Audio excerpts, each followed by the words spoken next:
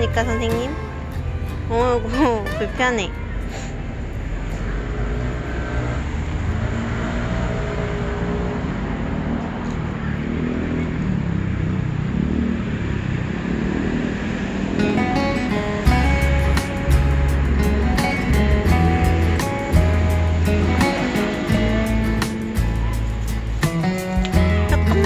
내가 못 가겠어.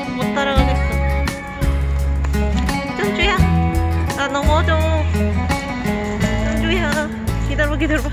오야, 오야, 오야. 가자, 가자, 가자. 가자, 가자, 가자. 가자, 가자, 가자. 나 죽을 뻔했어, 짱주야. 넌 토끼지만 난 사람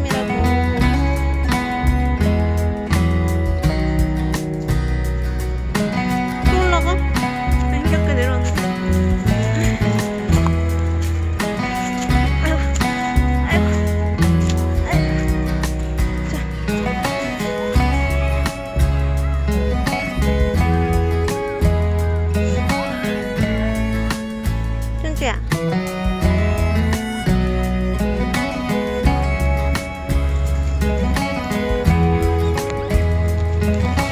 춘주야, 간식 먹을까? 춘주 간식 먹자.